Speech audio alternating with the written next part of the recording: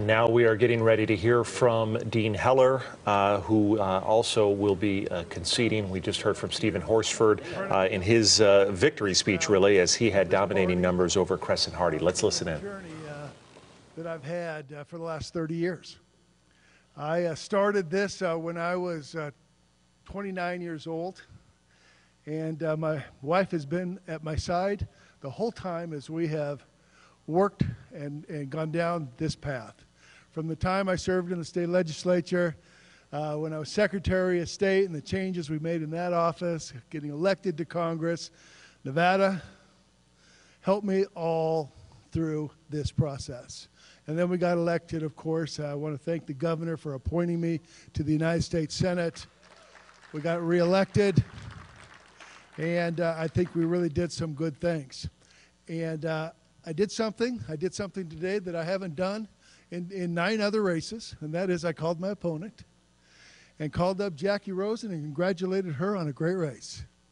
Congratulated on what she did, what her party was able to achieve, not just in my race, but all the way down that ballot.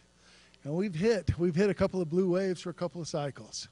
And uh, as a party, we're going to have to uh, come back together and decide how we're going to uh, to go forward in the future. But my hat's off. Yeah.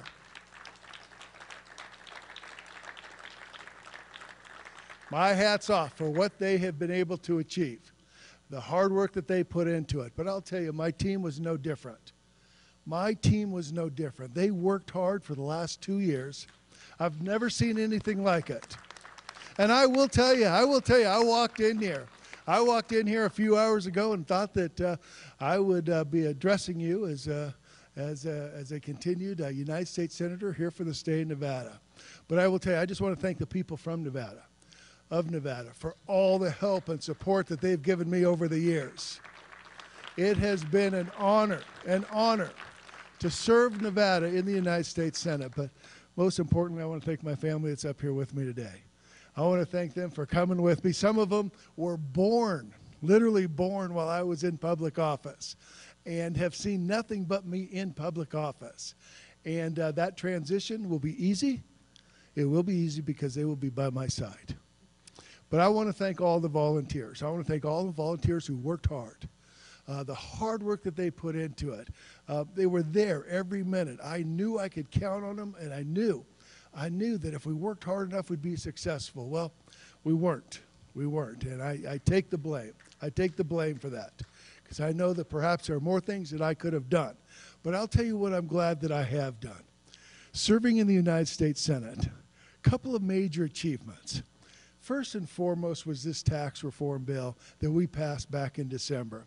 Wasn't done single handedly. I understand that, and we couldn't have done it without President Trump. But I'll tell you, that was a generational change, a generational change for Nevada, for the people of Nevada, and for the people of America. But number two, number two, to change the Supreme Court, to move the Supreme Court to the right, that also, that also was a generational achievement. And I was pleased and proud to be part of that. Those are good achievements, big achievements. And I was part and I was part of the United States Senate when that happened. Now, I wasn't sure what you could achieve above and beyond a generational tax reform or a generational movement in the Supreme Court.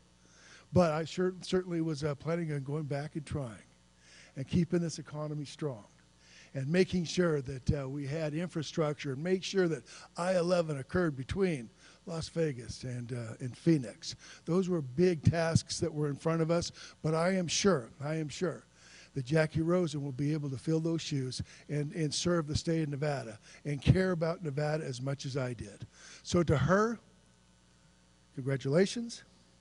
The best of luck. She's my senator, and if there's anything that I can do to help her in this transition, myself and my staff are willing to do so. But to all of you, to all of you out there that have uh, supported me for the last, uh, for the last uh, 30 years in public office, thank you. It has been a joy. It has been an honor to serve the state of Nevada.